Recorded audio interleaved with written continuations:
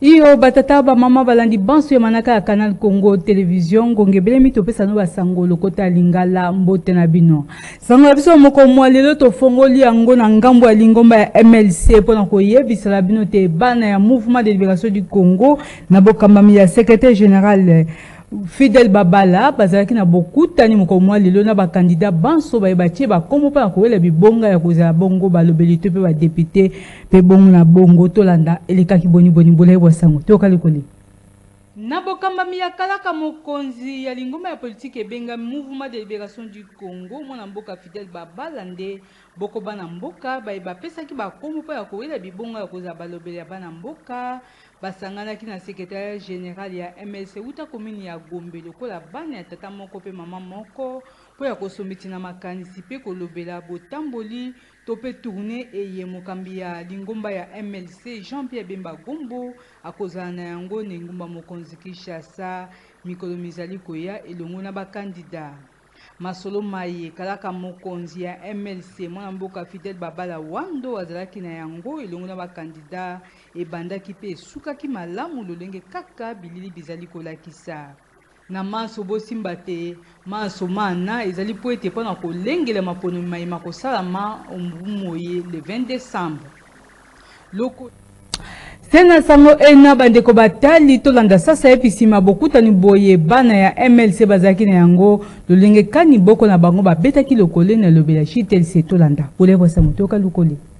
Sima ya bokutani boye, bana mboka baye bazwami o kati ya lingomba ya MLC. bazalaki na yango elongo na mokambi to pe kalaka mokonzi ya lingomba lia bango, mwana mboka Fidel Babala Wando, boko bana mboka babetaki lokole po ya kolimbola masolo maye bazalaki na yango na lolenge loye. Tokoma boye mpo ete toyoka oyo bakonzi balobeli biso mpo na ndenge ya ko mener campagne electorale na biso na terrain et puis balobeli biso sikoyo moto na moto akozala na circonscription na ye mpo a continuer mosala ya ko mener campagne na ye selon ba conseils oyo parti epesi ye. biso bongo tondimeke na nzambe tokolonga donc nous avons été satisfaits de tout ce que nous avons comme question tout ce qui nous fracassait on a pu nous avoir euh, la réponse donc euh, je remercie le président national et je remercie toute l'équipe euh, du MLC. Ça se voit que maintenant nous sommes prêts pour vraiment que nous soyons au pouvoir, que nous puissions marcher avec le président de la République. MLC Viva. Lokole ya Congo, ndakisa ya mbongwana. Tokoba na sango na biso moko mwa lelo, bandeko batali, mpo na koyebisa na bino te ba ntoma ya Europe elongo na secretaire general ya Sienco, Monseigneur Donatien Shole, bazalaki na masolo moko mwa lelo na centre interdiocesain. Basolaki nini? Tolanda bolai bwa sango na lolobeli ya JTC. Toyoka lokole.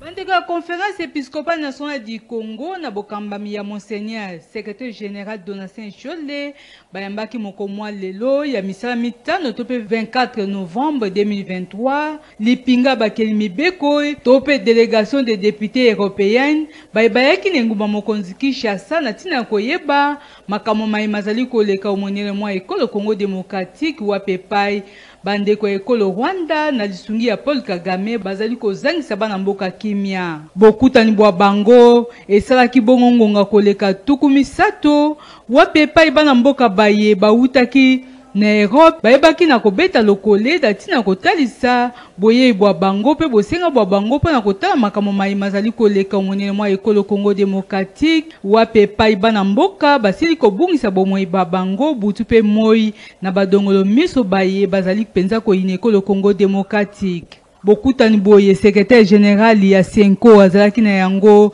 na lipinga ya bakeli mibeko baye bawutaki na Europe ebandaki mpe esukaki na esengo makasi lolenge kaka bilili bizali kolakisa.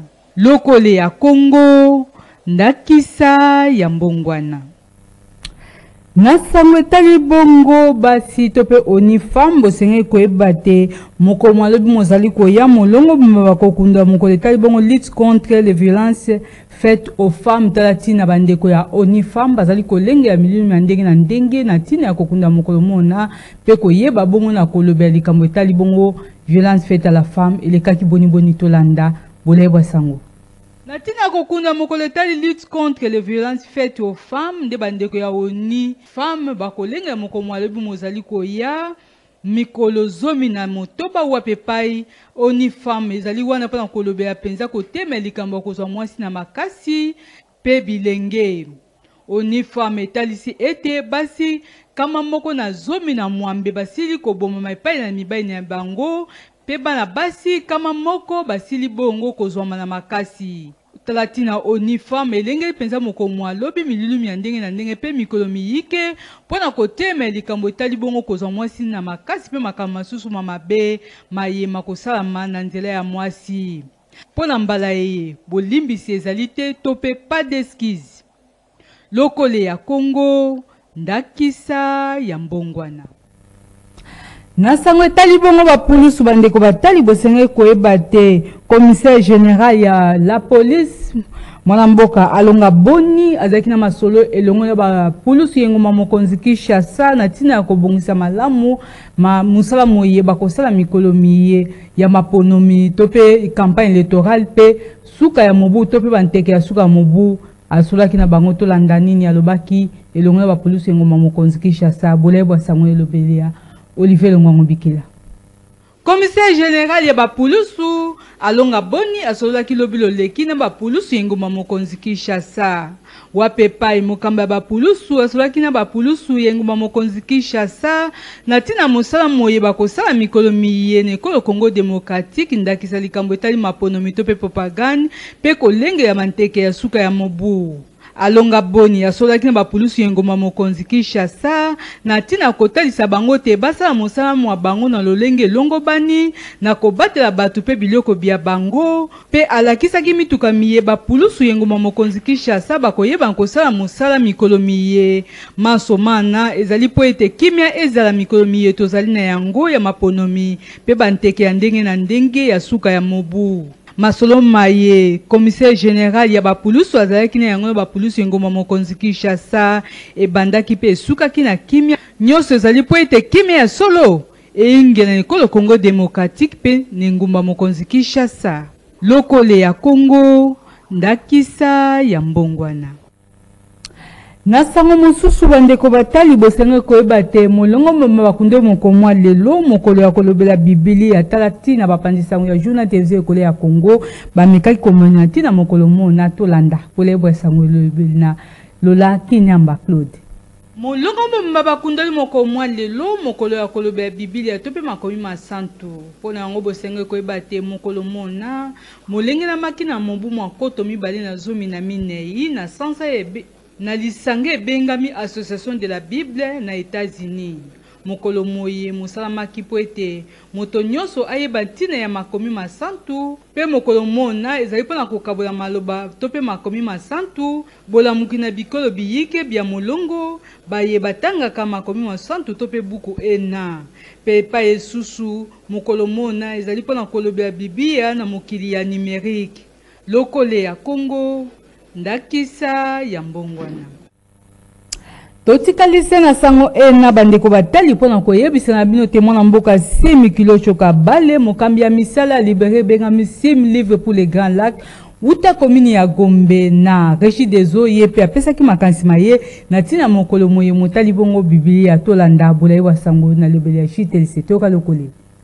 Molongo mobimba bakundoli mokolo mwa lelo, mokolo ya kolobela Biblia, to mpe makomi ma santu. Molongo mobimba bakundoli mokolo mwa lelo, mokolo ya kolobela Biblia. Tala ntina bapanzi sango ya journal televise Ekolo ya Congo batikaki mokolo yango koleka lokola mayi na mokongo ya libata te. Wapi epayi bapanzi sango bakendaki mpo na kosolola na mwana mboka Simi Kilosho Kabale na ntina ya koyeba bokesani nini ezali na ba Biblia lokola Louis Segond mpe Thomson mpe bongo na bongo. Na motuna mona, mwana mboka Simi Kilosho alimbolaki biso na kotalisa ete. NB, na Bukavu mpe en face ya Institut Alfajiri. Professeur Simi Kilosho, totondi yo botondi na ndenge osolaki na biso mokolo mwa lelo. Tokutani mbala nsima, toyambaki Professeur Simi Kilosho Kabale, tosololi makambo etali societe vraiment. et puis euh, euh, tobanda toujours kaka kozwa na ye mpona koede mingi basi na mibali ete bayeba koke liboso développement rdc ekowuta na basi na mibali ezala bilenge ezala bapapa na bamama bango nde bakosala lobi congo na biso ekoma